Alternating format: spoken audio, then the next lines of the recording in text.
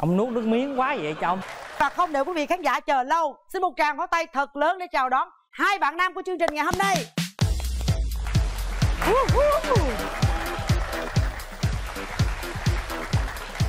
Wow!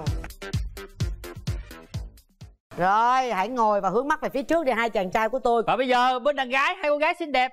Xin mời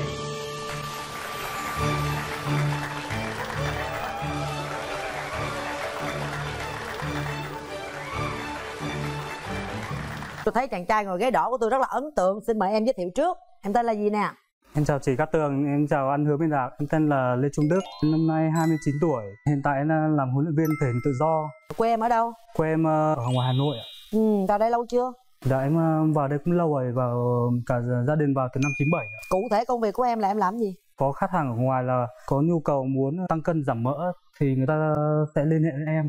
à Đấy. điểm mạnh điểm yếu của em là gì Điểm mạnh ờ, của em là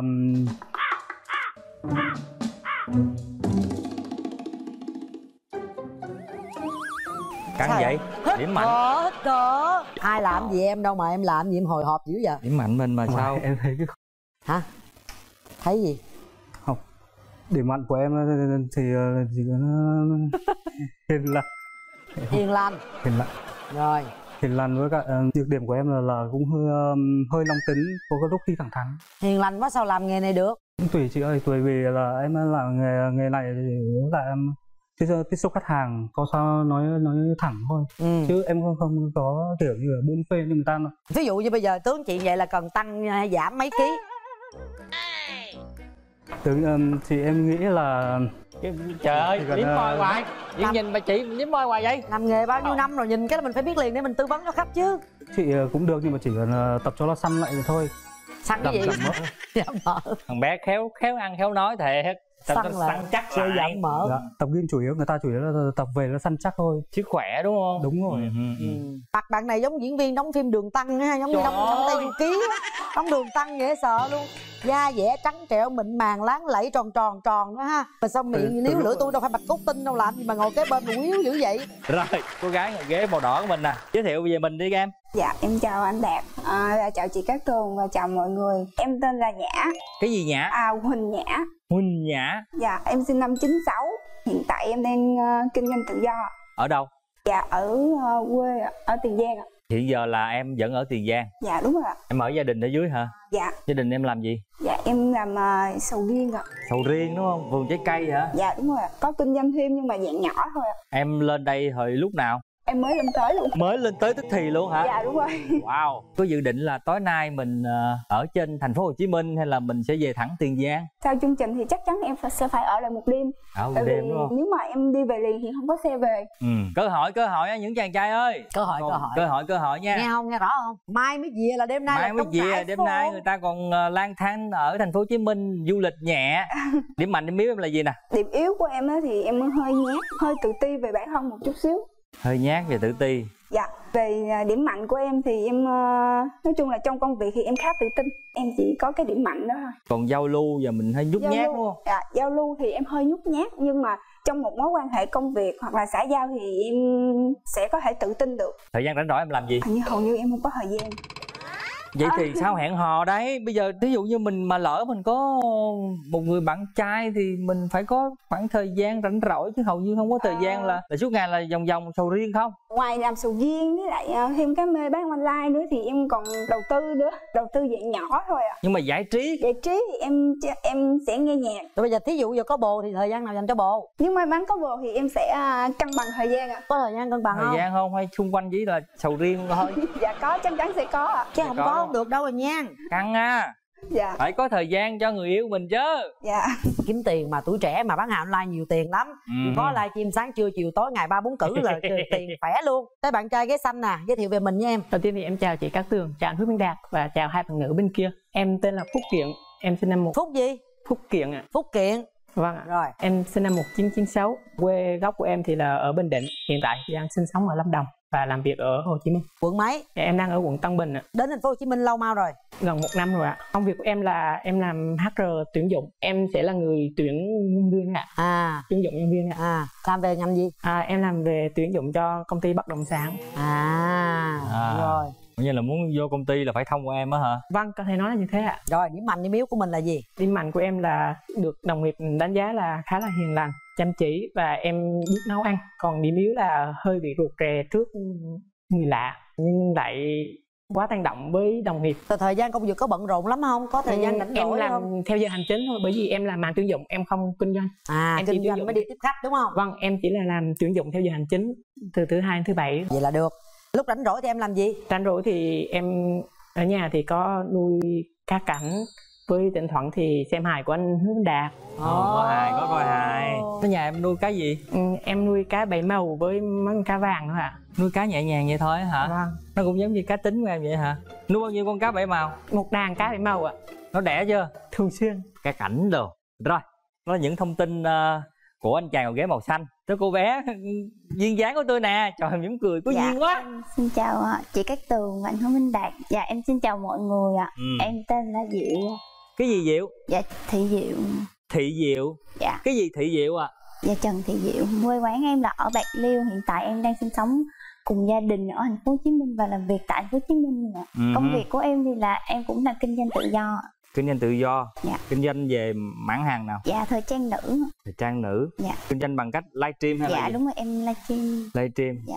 à, các bạn trẻ giờ toàn kinh doanh online không à? Online. Dạ em vô đây lập nghiệp được bao lâu rồi? Dạ em vô với gia đình từ nhỏ.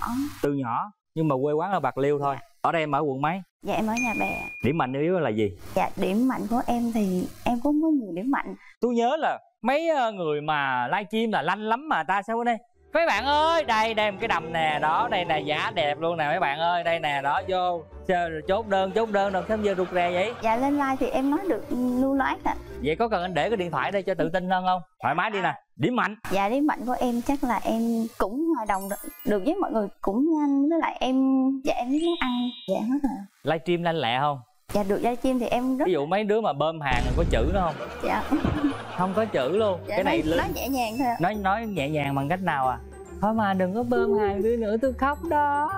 Hay sao? Dạ có khi khi em nói cũng có khi em bực quá cái em chặn luôn em cũng à chặn luôn. Nhưng mà sao biết tao chừng nào tao bơm hàng mới chặn chứ? Dạ khi về cái em biết cái nick đó cái em chặn luôn. Chặn thôi chứ không nói gì hết. Dạ có nhiều khi tức quá cũng nói câu gì à? Dạ dạ chị ơi cái cái nết chị kỳ quá thật sự là những cái người mà bơm hàng gì cũng không tốt thiệt. Cái nết của họ cũng kỳ thiệt. Ta buôn bán cực khổ vậy mà. Đừng bơm bớt bơm hàng. Sẵn lên xong bớt bớt bơm hàng giùm em ha. Đó đó là điểm mạnh. Điểm yếu là gì nè? Dạ điểm yếu. Em thì em hay bị nhút nhát trước mọi người á. Kiểu dạ nhưng dưới đám đông mới gặp thì em không có hoạt bát được. Không nói chuyện với nó được. Anh nãy giờ cũng thấy điều đó rồi đó. Dạ. tự tin thoải mái lên. Thời gian rảnh rỗi thì em có giải trí hay đi du lịch gì không? Dạ em rảnh rỗi thì em xem phim với nghe nhạc thôi. Xem phim nghe nhạc vẫn cầm cái điện thoại. Dạ. Em có thích đi ra ngoài đường hay là đi lên một cái vùng biển vùng núi gì không? Thoát khỏi điện thoại không? Dạ không em thì giống như nếu như mà không cầm điện thoại này em thích ngắm sao ngắm trăng vậy thôi à. ngắm sao ngắm trăng là lên sân thượng á hả? Dạ đúng rồi em thích kiểu mình thích bình yên trong một góc phòng một mình thích ở một mình. Dạ. đó là những thông tin của cô gái ngồi ghế màu xanh chị à. Bây giờ mình sẽ đến với tình trường để mình hiểu nhau được nhiều hơn nha rồi quay trở lại với chàng trai ghế đỏ nè. Em trải qua bao nhiêu mối tình rồi? Em trải qua ba mối tình rồi. Kể chị tường nghe coi nào. Mối tình ờ, đầu tiên là, em ờ, quen một bạn ờ, ngoài bắc do người, nhà- người nhà bên em làm muốn cho em cái bạn Ừ, này. ừ. thì đúng lúc là em đang ở trong nam đúng lúc em đi, đi, đi, đi bộ đội ra quân xong thì, thì nhà làm mời một cho em cho bạn này. Quen được bao lâu? Từ lúc nhắn tin ấy, cũng được một năm rồi. Yêu xa? Yêu xa nhắn tin trong một năm sau cùng là đến um, cuối tháng 9 2016 á, thì ờ, em với cả bố em ra ngoài Hà Nội chơi em cũng gặp bạn đó luôn là sau một năm là không gặp yêu xa không thôi một năm sau mới gặp Dạ. nhắn tin đúng một Nhắn năm tin. luôn mới được gặp dạ vâng. Rồi. Rồi cái lúc mà gặp nhau thực tế thì như thế nào? Em với bạn ấy ờ, đi chơi và tìm hiểu nhưng cũng nói chuyện là nhà với gia đình ở đấy ờ, như thế nào? Rồi cuối cùng là như thế nào? Thế nào là thế nào? Như là gặp nhau rồi thế nào mà thế nào mà, mà kết thúc? Thì là, là quen nhau đúng là một tháng rưỡi thì em ờ, em cũng thôi. Tại sao thôi thôi là, là vì lý do là thì buổi sáng sớm em thấy ờ, bạn ấy ờ, sáng sớm xong mặt là hầm hầm đi không chịu chào hỏi cái gì em thấy có vấn đề thôi. Em nhắn tin sáng nay em làm sao đấy? Sao mặt hầm hầm em cũng không nói gì nữa. Thôi. Ủa lần sau là cuối cùng sao thôi? là tại vì Cuối cái mặt cùng hầm là- hầm buổi sáng sớm. Em cũng không biết sao mặt hầm hầm cái chuyện gì. Buổi sáng là ít nhất là nhìn thấy em là phải ờ, phải chào. Là sao? Là hai đứa ở chung với nhau? Ờ, đêm đó không phải không phải ở chung. Đêm đó Đêm- ở ở riêng rồi tự nhiên sáng sớm là gặp, sáng sớm gặp thế nhau. buổi tối thì em ờ, sang nhà- nhà bạn ấy chơi. Xong ngồi nói chuyện rồi thôi sau cuối cùng ờ, sáng sớm sao tự nhiên mặt này. Hay là đêm đó thì ờ, hai người ngủ chung với nhau xong rồi ta sáng hai không phải- có ngủ chung rồi mà. Rồi cuối cùng cuối hỏi xong cuối cùng là là em thấy buổi sáng là thấy thấy thái độ với em như thế thôi em nhắn tin. Nếu mình như thế này thì em thì thôi với em. Vậy thôi tự nhiên thấy mặt ta hầm hầm chưa hiểu nguyên nhân sao cái anh nhắn thôi là cuối cùng là thôi luôn đó thôi mối tình ờ, thứ hai thì em quen một bạn ở Thái Bình ra ngoài Hà Nội ờ, làm ờ, nhân viên ờ, hải sản quen đúng một tuần. Ừ. sống là bạn- em chả hiểu sao bạn ấy tới, tới cái đoạn tới đúng lúc em gọi điện thoại ấy thì đang ở ngoài phờ đang ở ngoài đường thì em gọi cho bạn ấy thì thì có thấy tite luôn sau chặn số. Em vào mạng xã hội thì cũng messenger zalo cũng chặn hết ừ. Em chả hiểu gì còn mai là còn cái còn cái instagram thì em vẫn nhắn cuối, cuối cùng thì em hỏi tại sao Chặn sao hết. lại chặn hết ờ, tất cả mạng xã hội của của anh như thế này? Thì em bảo anh ờ, bạn ấy bảo là em là nói chuyện sến quá. Ơ, sao lại sến mình cũng ờ, nói chuyện thẳng thẳng thật thẳng thắn với nhau này quan tâm sến. nhau thôi mà Đấy. có gì đâu sến mà em nhắn mấy câu gì vậy? Nhắn cho bạn ấy là bạn ấy đi uống nước không? Tầm 9 giờ là qua đón rồi đi luôn mỗi thế thôi có lúc là rủ là đi uống nước hay là đi ăn uống hay đi cà phê là sao? sến là nào mà phải là anh nhớ Câu em cha- như, như trăng nhớ mà chắc là chắc nhớ là gió do chắc là, là do em nhắn tin thì em như thế. Là có nghĩa có nhắn có những nhắn những cái lời lời hoa ông bướm đúng không? Đúng rồi. À rồi cô đó cũng thích cô nói sến. Nhưng mà ý mình đâu phải như thế đâu. Rồi nó chưa Đấy. hiểu chưa hiểu ý nhau. Rồi mối tình thứ ba. Nãy giờ trất quốc không à còn mối tình thứ ba thì ờ, cũng lâu và sâu hơn cả hai mối tình kia Rồi. thì ờ, quen được bao lâu? này nửa năm rồi rồi Lâu năm. tính từ, ờ, từ năm ngoái. Không giật bạn này là, là kết bạn Facebook em từ cuối 2019 em không biết bạn này là, là, là ai. Bạn ấy uh, comment với cả like ảnh like bài viết của, của em sao thế thôi. Cùng là em cứ chủ động là em nhắn tin trò chuyện. Bạn này ờ, cũng ở, vẫn là ở ngoài Hà Nội nhưng mà quê bạn ấy ờ, ở Hải Phòng. Từ lúc em đang ở trong Nam thì ờ, đầu 2021 ấy, ở ngoài Bắc đang dịch. Thế là nhà em bị hoãn không thể ờ, bay ra được. Đầu tháng 5 á thì ngoài Bắc hết dịch thì em với cả bố mẹ em ờ, đi ờ, bay ra ngoài Bắc luôn. Gặp bạn ấy luôn. Gặp bạn ấy là hôm ngày 24 tháng 6 nhớ rõ quá nhớ nhớ nhớ ngày nhớ 24 tháng 6 là em gặp bạn ấy bạn, bạn cho em địa chỉ ở trên cầu giấy.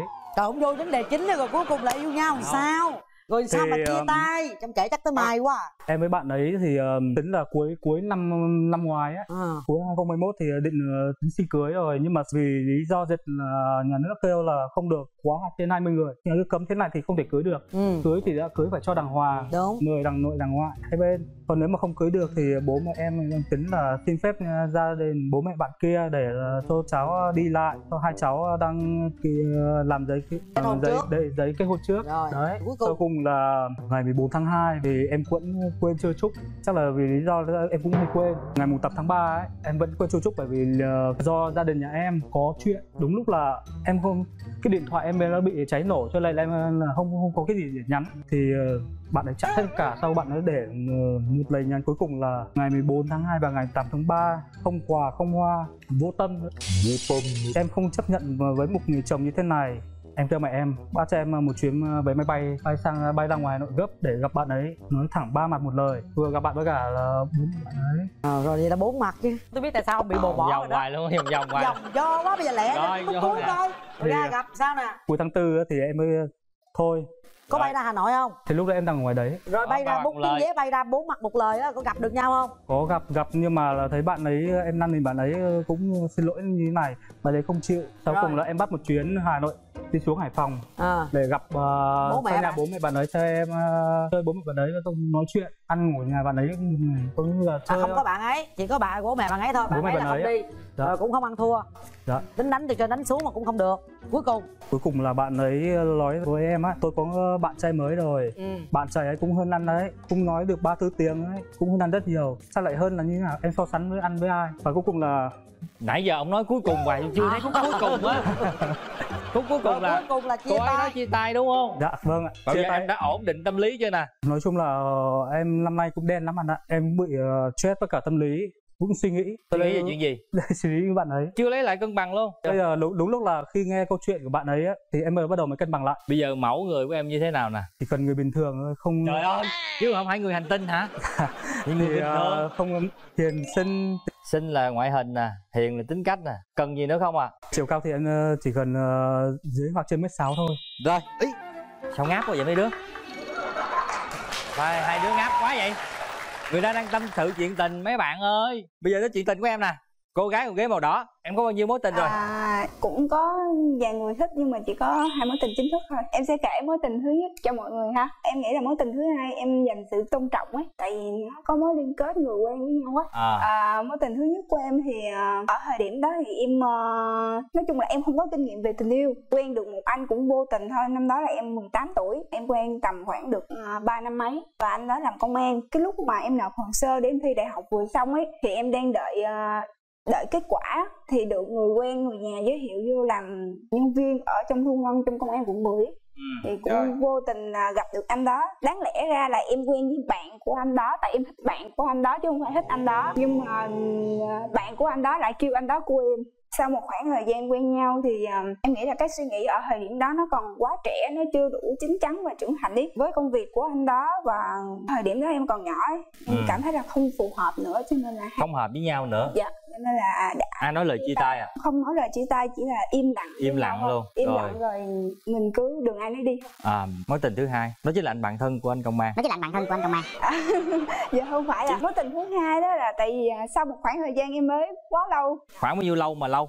Chắc cũng khoảng ờ, năm sáu năm gì đó em năm sáu năm sau em không nhớ nữa. Rồi. Cho nên là bạn thân của em ấy không phải là bạn em làm mai nữa mà em kêu bạn em à, làm mai giùm tại vì bạn em nó lấy chồng rồi bạn thân em nó lấy chồng. Rồi giới thiệu chứ đừng nói chữ làm mai. à, À, giới rồi. thiệu giùm thì à, kiếm hoài không được. Bạn của anh chồng bạn thân nó giới thiệu cho em thì không phù hợp. Trong một bữa ăn thì không phù hợp nên không có quen. Rồi. Xong cái vô tình lại quen ngay cái anh ờ, em chồng của bạn thân. Dích dắt quá vậy mới ngố rồi dích dắt cuối cùng là em chồng của bạn thân Em là coi như là bạn xa tận chân trời gần ở trước mắt đúng dạ không? đúng rồi. Rồi. Nhưng mà chỉ ờ, chưa đến một năm thì ờ, tụi em không quen nữa. Tại vì không phù hợp bạn đó nhỏ hơn em một tuổi nhỏ tự nhiên hơn tôi thấy nó- hai bạn ghế đỏ này hợp nhau hợp rồi đó. giờ tìm một người giờ- bạn trai như thế nào nè? Em muốn kiếm một cái chàng trai là chân thành hiểu được em và hiểu được những cái chuyện trong quá khứ của em thì mới thể đi đường dài được. Lãng mạn xíu được không? Lãng mạn cũng được không lãng mạn cũng được. Nói phải- nhiều chút được không? Dạ cũng được chị cũng được, được luôn, luôn. Dạ. hai đứa hợp ghê á. Kể chuyện Dạ. nó hơi dài dòng lòng vòng chút được không? Ờ, nó vừa thôi thì được. Vậy nhưng mà nói đúng vấn đề chứ đừng nói nãy giờ em nghe kể chuyện là em ngủ em thức. Em vẫn nghe đấy chứ. À, Nghe hợp chứ. rồi vậy là hợp rồi. Mà ngoại hình thích chàng trai như thế nào? Còn quá đẹp ưa nhìn là được. Giống diễn viên trong phim đường tăng á được không? Đẹp trai á. Đô con em có bị ờ, e dè không? Đô quá thì em không thích à cân đối mà cũng được. Tóc dài lãng tử. Dạ không nha không à em thích gọn gàng à ít gọn gàng rất gọn gàng. quá gọn luôn. Quá gọn. Quá gọn quá mát. Chúc mừng em hy vọng hôm nay tụi Hy em sẽ à, tìm được ờ, một nửa mảnh ghép của mình nhé anh thấy hơi hợp hợp rồi đó. Hơi hợp hợp rồi đó. Chúng ta sẽ đến với chàng trai ngồi ở ghế màu xanh mấy mối tình. Dạ, em thì trải qua hai mối tình, một mối tình là không chính thức và một mối tình chính thức. rồi. Mối tình không chính thức thì là em yêu đơn phương bạn học trung cấp 3 từ năm lớp 10 đến năm 12. Bạn ấy cũng chỉ xem em là bạn thôi. à, coi như là một cái thanh xuân tuổi trẻ thời học sinh ha Vâng ạ. rồi mối tình chính thức Mối tình chính thức là em quen lúc em học năm 3 đại học cùng khóa với em nhưng khác ngành. Em quen bạn đó được 3 năm. BBK vui trọn vẹn ấm tình thân Có lẽ lý do lớn nhất trong mối tình này là khoảng cách. Em thì em ở trong Lâm Đồng, còn bạn đó thì ở Hà Nội. vậy lúc quen nhau thì quen ở đâu Quen là em quen ở Hà Nội, bởi vì em học ở Hà Nội. à Gia đình bạn đó thì không đồng ý vì họ không muốn con gái họ gả đi xa. ừ ai là người chủ động chia tay Cả hai ạ, bọn em có một lời hứa là khi chia tay sẽ gặp nhau để nói. Sau khi đã xác định được rồi thì sau một thời gian thì hai người gặp nhau và quyết định là chia tay trong thổ thuật. Có nuối tiếc không Thật sự nói nếu nó không có thì không đúng. chia tay được bao lâu rồi Em chia tay được ừ, gần một năm rồi. ạ. bây giờ có còn liên lạc gì với bạn ấy không Ừ, còn em thì vẫn kiểu như là bạn bè nhắn tin thì bình thường. thôi chuyện cũ cũng đã qua ha em muốn tìm một mẫu người bạn gái như thế nào Em thì không đặt cao mẫu bạn gái của mình, chỉ cần bạn đó lễ phép với người lớn là được. Về ngoại hình thì chỉ cần không quá cao, không quá thấp, ưa nhìn là được rồi ạ. điều gì em không thích ở người bạn gái Quá không lịch sự đối với uh, bất lịch sự. Đúng rồi, là em không thích hỗn hào với những người lớn hay là Vâng ạ, đúng rồi đó là những mối tình à, của anh chàng trai lâm đồng. Tôi quay về với lại cô gái ghế xanh thôi nè. Chuyện tình yêu em như thế nào? Dạ em có một mối tình năm một mối tình? Dạ năm 17 tuổi tình đầu à. tìm hiểu được mấy tháng xong rồi thấy không hợp nên hai người dừng lại thôi à có một mối tình rồi- mấy tháng không hợp dừng lại thôi. Hai người biết nhau trong trường hợp nào? Ba gần nhà rồi ba mẹ nói chuyện rằng hai người gặp nhau mà. ủa gần nhà rồi ba mẹ nói chuyện mà sao hai đứa nhỏ yêu nhau? Dạ giống như là cha mẹ thấy hai hai bé cũng được mà. À giới thiệu thông qua ba mẹ hả? Trời được ba mẹ lấy vô mà cũng không được tiếc quá ha. Tại vì bả cứ bả cứ ở trong phòng bả vòng vòng trong phòng rồi bả nghe nhạc rồi bả thích ở một mình. Rồi sao từ sau mối tình đó tới nay là bao nhiêu năm mà cũng không có ờ, mối tình nào? Không ai để ý mình hay mình không thích ai hay là như thế nào? Dạ em cũng có tìm hiểu ờ, cũng vài người à nhưng mà chắc là không hợp nên là không có quen. Thường là không hợp ở những điểm nào? Bạn đó không hiểu em à. à. Tại tính em cũng sống nội tâm à rút kinh nghiệm mình phải chia sẻ mình phải nói nhiều lên. Mà nói nhiều người ta mới biết mình muốn cái gì chứ mình im lặng không thì làm sao người ta biết để mà người ta chiều theo ý mình được đúng nhưng không? mà em buồn thì em tâm sự với ai? Dạ em không có tâm sự với ai em chỉ buồn rồi em khóc rồi thôi à. Bây giờ nếu có bạn trai thì em sẽ muốn ờ, hẹn hò ở đâu đi những đâu làm gì? Em thì cũng chưa có nghĩ tới vấn đề đi đâu làm gì trời ơi. Thế tại sao em đăng ký tham gia chương trình dạ này? em thì nếu như có bạn trai thì tới đó thì mình mình mới bàn hả? Dạ. Khi mà bàn cái vấn đề đó là em lại không hợp nữa sao? Bây giờ em chủ động đi. Em là người dựa theo cái cảm giác à dạ khi nói chuyện cái tự nhiên cảm giác em thấy thích là em thích. rồi mà đó giờ em có thích ai chưa? Dạ em có thích một vài người thôi à thích một vài người. Dạ là và trong đầu em là muốn rủ người đó đi đâu? Em ít khi cảm giác đi chơi lắm mà ví dụ bây giờ nhưng mà em có người em yêu thì em nghĩ là mình sẽ làm gì? Hai người sẽ làm gì với nhau? Ờ, nếu hẹn hò thì em nghĩ là đi uống trà sữa rồi à, đến những nơi mà kiểu bình yên à. ừ thích bình yên đúng không? Em muốn tìm một mẫu người bạn trai như thế nào? Dạ à, nhìn chững chạc xíu mà nghiêm túc cao hơn em một tí.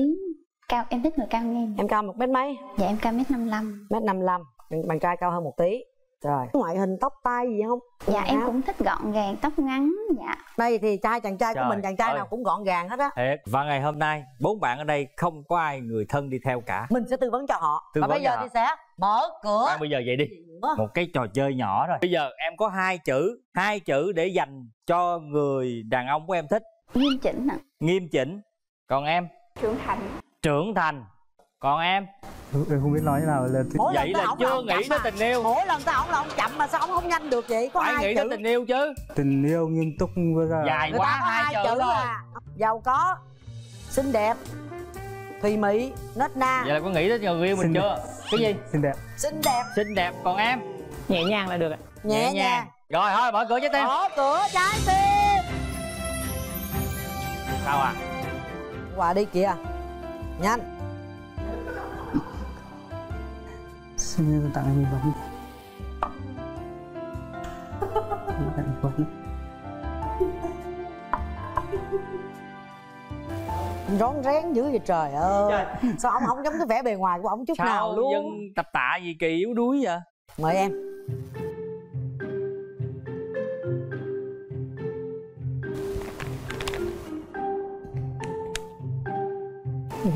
ôi cái này giống như hai ông thầy qua đúng không? Dạ con uh, cũng chị. luôn dạ con mời chị. Quả kia làm sao ra. Dạ em em kính chị. Dạ em kính cô. Rồi ờ, coi khui quà giùm chị coi em. Hay là em gái khui quà giùm chị coi món quà gì đó. Cái gì vậy? Ạ? là son một cây son và em nghĩ là kẹo ở bên đây chỉ có kẹo thôi nhưng ở bên đây có cây son nữa. Ồ. Em thì em muốn ờ, khi các bạn căng thẳng trong công việc thì các bạn có thể ăn một cái kẹo sô cô la để các bạn dịu lại rồi. với cảm xúc của mình hơn. Ừ. thế bên kia sao cũng có son? Chắc là có lẽ là có một ẩn ý trong đó. Có một ẩn ý trong đó. Có Rồi. lẽ đã thấy sự nhẹ nhàng ở ờ, cái ghế màu xanh. Đức nãy giờ em chưa làm chị hài lòng gì cả. Bây giờ em hãy hát tặng mọi người một bài hát lấy lại phong độ coi em nhút nhát quá. Mạnh mẽ tự tin lên. Xin, ờ, tặng cho hai bạn ờ, một bài hát bài ờ, lời nguyện của Akira Fan bài lời nguyện của Akira Fan lời nguyền của Akira Fan ồ cái lời nguyền này nghe ghê quá rồi à mời em. Bài của Akira Fan luôn. Lời nguyền lời thề ước anh đã trao cho em vầng trăng ánh sao nhiễm màu. Nhìn lên cao anh chắp tay nguyện cầu được yêu em. Đến khi bạc mái đầu xanh. Xin hết ạ. Hôm nay là em hát không được hay do- nhìn lên cao, chắp tay nguyện cầu yêu nhau cho tới bạc mái đầu xanh. Bây giờ tôi nhìn cái đầu ổng, tôi muốn tráng dáng luôn á khi mà cánh cửa trái tim này mở ra nhìn thấy hai bạn gái bên kia cảm xúc của em như thế nào?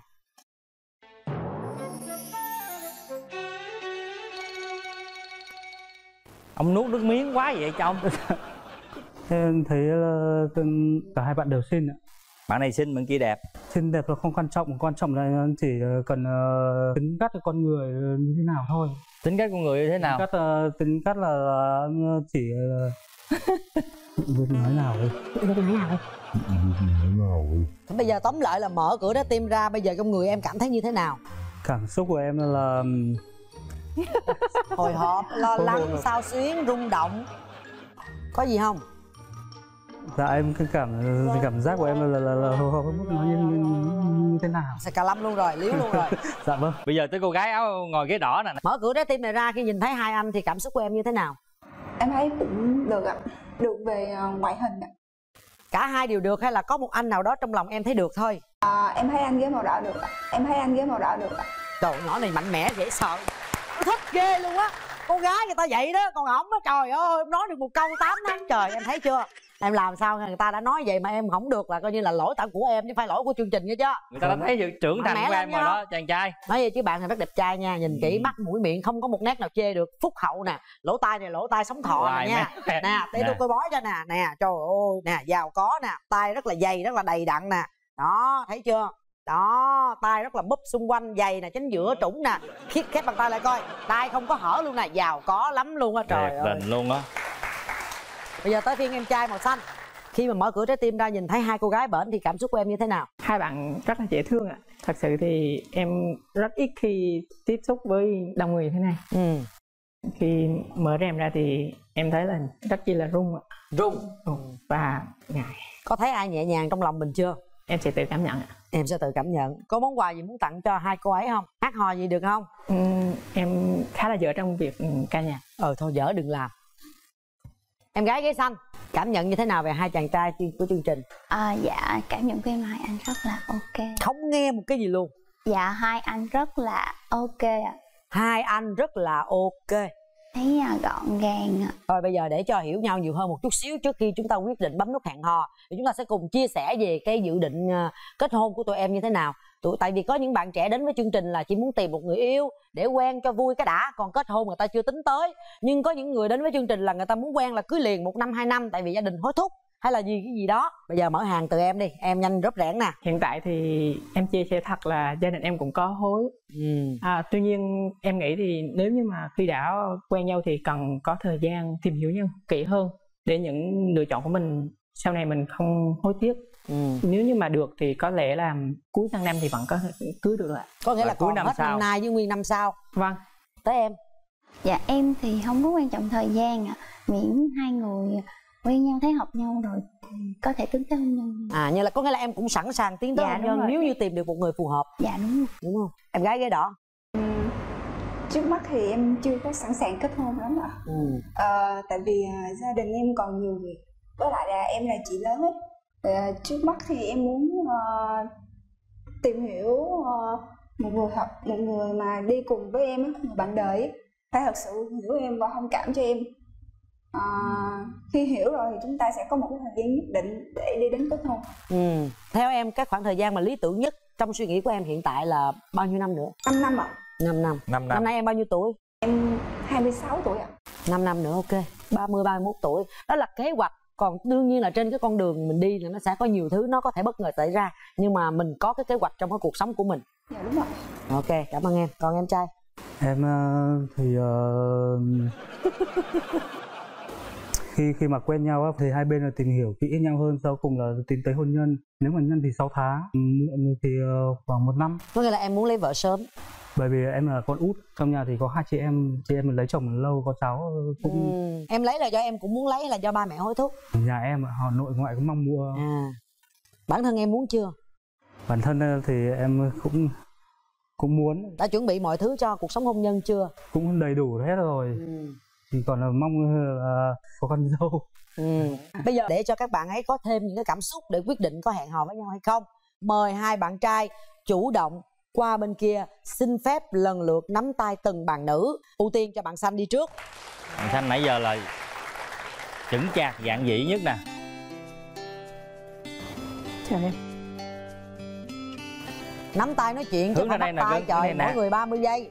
tính là mua bán bất động sản hay gì rồi làm như bắt tay đối tác vậy. Rồi. thử đứng lên đi. Nắm tay nhìn nhau nói chuyện. Chào em à, cho anh hỏi là quan điểm về tình yêu của em thì như thế nào? À, em cần chân thành và trưởng thành như vậy và giỏi trong việc kiếm tiền. Rồi anh cảm ơn.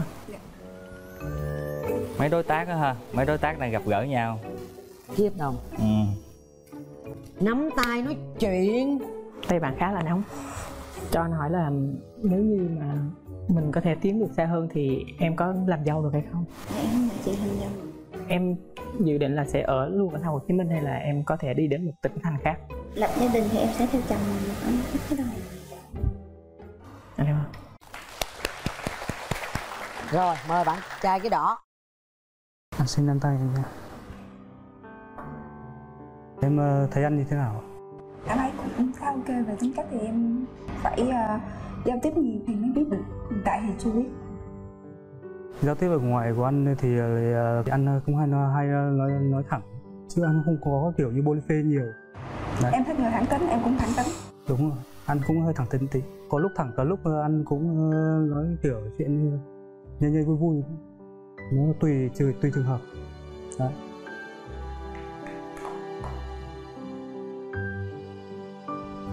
Dạ, em anh xuống em em cầm tay cho em được. Của em thấy anh như thế nào? Anh rất là hiền, chân thành nè Có hơi nhút nhát một tí. Khi ờ, gặp bà bạn gái anh cũng hơi vẻ ngại thế là anh cũng ờ, ít nói. Có lúc thì nói ít có lúc lúc thì nói nhiều. Có lúc hơi nhây nhây tí. Đấy. Ừ. anh chẳng rồi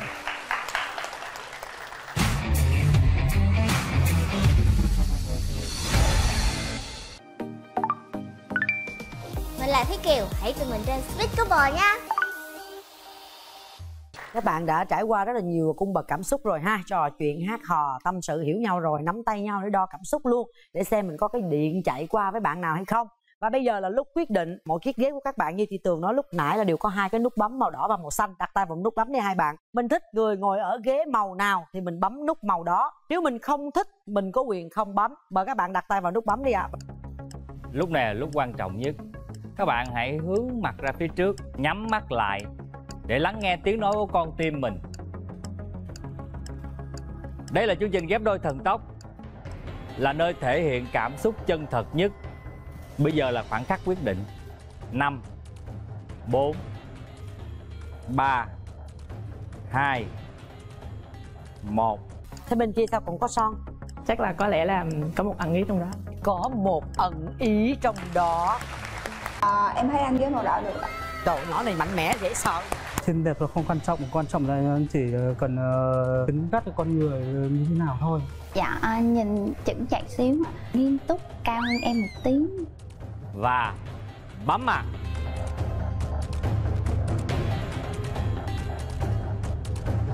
hết thời gian Và rất tiếc là chương trình ngày hôm nay Ông Mai và Mối chưa kết đôi được cho một cặp đôi nào. Chàng trai của chúng tôi đã có đưa ra quyết định của mình. Nhưng mà không hiểu sao thì chiếc ghế của hai bạn gái vẫn im lặng. Xin cho chị hỏi một chút xíu Em gái màu xanh tại sao em lại không bấm nút? Dạ em cảm giác em chưa rung động lắm. Em cảm thấy không rung động. Dạ. Cảm thấy chưa đủ để rung động. Còn em gái ghế đỏ? Em cảm thấy là chưa bắt được nhịp Như chị Tường nói mà tình duyên là một cái thứ gì đó nó rất bất chợt Nó rất là bất ngờ, nó thuộc về cảm xúc Mình không thể nào mà cân đo đong đếm được Ngày hôm nay mặc dù là các bạn chưa trở thành một cặp đôi Nhưng chị Tường cũng chúc cho tất cả các bạn Sẽ luôn gặt hái được nhiều thành công trong cái sự nghiệp Và chắc chắn sẽ tìm được một nửa yêu thương của mình trong một ngày gần nhất Cảm ơn các bạn đã đến Rồi. với chương trình Xin mời các bạn. Cát Tường xin gửi tặng cho các bạn mỗi bạn là một phần sản phẩm cốt gà của công ty Quốc Việt Food được sản xuất theo tiêu chuẩn FDA giúp cho món ăn thơm ngon tròn vị và tiện lợi hơn trong quá trình chế biến. Và sản phẩm này không có chứa MSG và không có dùng chất bảo quản. Xin gửi tặng cho các bạn nha. đây tặng cho em và các bạn cũng đừng lo, chương trình cũng dành tặng cho các bạn một phần quà. Đó là gói Ruby của ứng dụng Speak Couple Một ứng dụng hẹn hò với môi trường an toàn, văn minh và thân thiện Sẽ giúp cho các bạn độc thân tìm kiếm được một nửa của mình Và trong ứng dụng này các bạn cũng sẽ được tư vấn bởi ông Mai và Mối rất là duyên dáng thôi nha Các bạn hãy nhớ đăng ký tham gia chương trình ghép đôi thần tốc bằng cách tải và cài đặt ngay ứng dụng Netlove Hãy truy nhập ứng dụng Netlove để được đăng ký tham gia chương trình một cách nhanh nhất nha Cảm ơn ứng dụng hẹn hò và giữ lửa tình yêu Speak Couple đã đồng hành cùng với chương trình. Ứng dụng Speak Couple đã chính thức có mặt trên App Store và Google Play. Hãy nhanh tay download để tham gia cộng đồng Speak Couple đang có rất nhiều cơ hội gặp gỡ đang chờ đón các bạn. Quý vị khán giả thân mến, hãy nhớ khung giờ phát sóng quen thuộc của chương trình ghép đôi thần tốc đó là vào lúc 21 giờ 15 thứ ba hàng tuần trên kênh HTV9 và 21 giờ 30 thứ ba trên kênh MCV Media. và bây giờ các tường và hứa minh đạt, xin chào và hẹn gặp lại quý vị